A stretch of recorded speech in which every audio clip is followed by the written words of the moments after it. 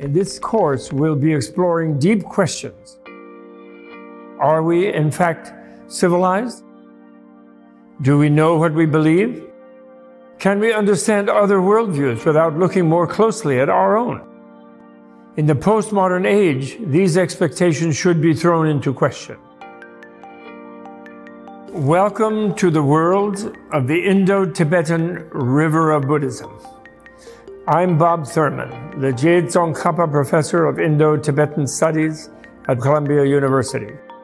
I want to alert you that I am not merely going to repeat what we think we know about the topic Buddhism as a quote, a world religion, some weird thing that some other people do in some other countries.